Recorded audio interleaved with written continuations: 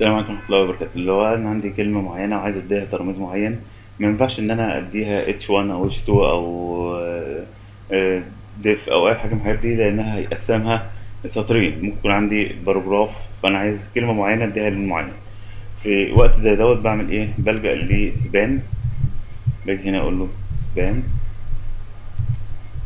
وبقفل. عشان يعرف الحدود بتاعتي من اللي فين. وبعد كده هاجي هنا ال head وأقول له أنا عايز style لازم أقفل ال style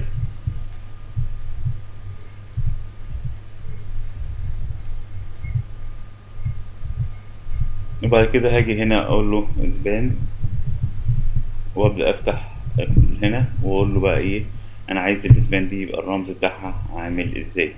هقول له مثلا color.